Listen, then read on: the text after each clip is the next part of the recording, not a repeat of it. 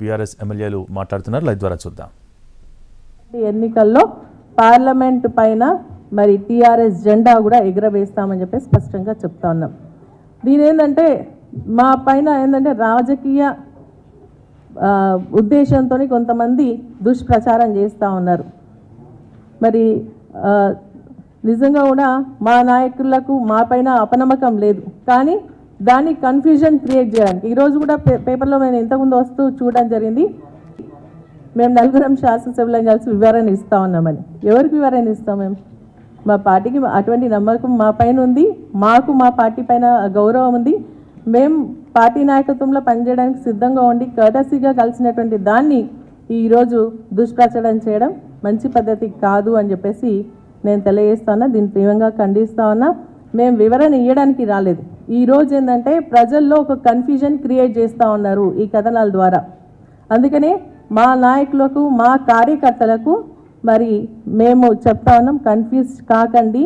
కావాలని దురుద్దేశంతో మన పైన లేనిపోని మాటలు చెప్పి మరి ఈ విధంగా మరి అప్రతిష్ట పాలు చేసే విధంగా కొంతమంది మరి ప్రయత్నం చేస్తూ ఉన్నారని చెప్పేసి కూడా నేను తెలియజేస్తా ఉన్నా.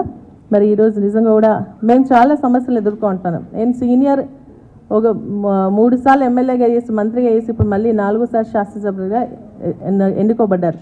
కానీ అయినా కూడా ఇబ్బందులు వస్తాను. ఇప్పుడు కూడా నేను వస్తూ ఉన్నప్పుడు మాకు సంబంధించినటువంటి కార్పొరేటర్కి సంబంధించినటువంటి కొన్ని బోర్ మోటార్ లాగడం లాంటిది అవన్నీ కూడా చేస్తూ ఉన్నారు. అవన్నీ కూడా మేము ఎదుర్కొంటున్నాం కాబట్టి సీఎం గారితో నిన్న మాట్లాడుతూ ప్రోటోకాల్ అదేవిధంగా మాకు ఎస్కాట్ ఇవ్వట్లేదు పైలటింగ్ ఇవ్వట్లేదు. అదేవిధంగా కొన్ని అభివృద్ధికి సంబంధించినటువంటి విషయాలపైన మరి మాకు సహకరించాలా? ఎందుకంటే మా ప్రజలు కూడా అభివృద్ధిని కోరుకుంటా ఉన్నారు అన్న ఒక ఆలోచనతోనే మేము నిన్న వెళ్ళి కలవడం జరిగిందే తప్ప వేరే రాజకీయ దురుద్దేశం కానీ మరి పార్టీ మారేటువంటి ఆలోచన కానీ మాకు లేదు అని చెప్పి స్పష్టంగా తెలియజేశాను. ఆ రోజు కూడా మేము నిబద్ధతతో ఉన్నాం మరి అదేవిధంగా క్రమశిక్షణతో ఉన్నాం.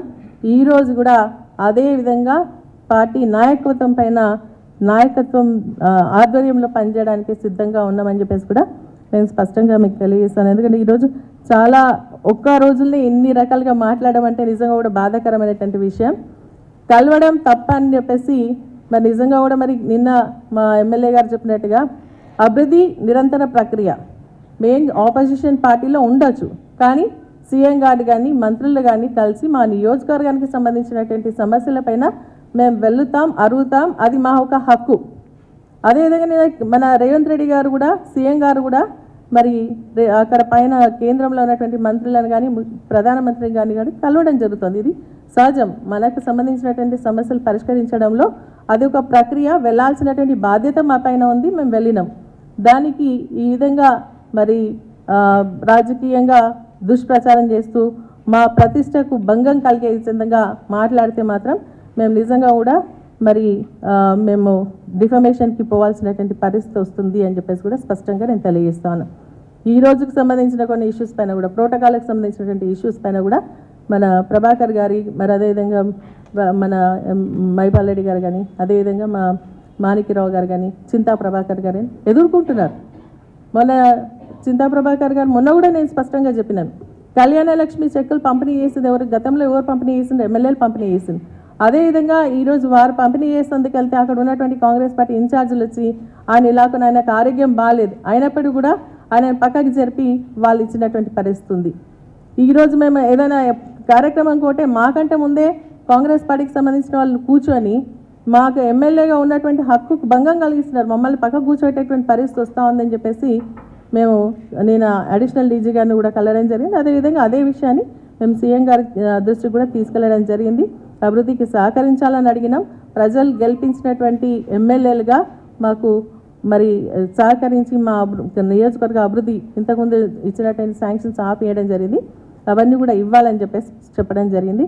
సో మేము అడుగుతున్నాం ఈ ఒక సమస్యలు ఏవైతే ఈరోజు వారు అంటే ఆ హామీలు ఇచ్చిండ్రో ఆ హామీలన్నీ కూడా నెరవేర్చాలని చెప్పేసి చెప్తూ మరి అదేవిధంగా మనకు కరెంటు బిల్లులు కూడా ఈరోజు మా గ్రామాలకు వెళ్తున్నప్పుడు కరెంట్ బిల్లులు కట్టమని ఫోర్స్ చేస్తున్నారని ప్రజలు అడుగుతున్నారు. మేము అడిగినప్పుడు ఖచ్చితంగా ప్రభుత్వం దృష్టికి తీసుకెళ్ళాలి. ఆ విధంగా మేము అడుగుతానని. మీరు జనవరి నుంచి కరెంట్ బిల్లు కట్టొద్దన్నారు. మరి ఇప్పుడు ఎందుకు ఫోర్స్ చేస్తున్నారని అడుగుతా అడిగితే మాత్రం మరి దాన్ని రాజకీయ దురుద్దేశం అని అంటే ఎట్లా? ఆపోజిషన్లో ఉన్నాం. రైట్ కరెక్ట్గా మేము ఆపోజిషన్ పాత్ర పోషిస్తాం.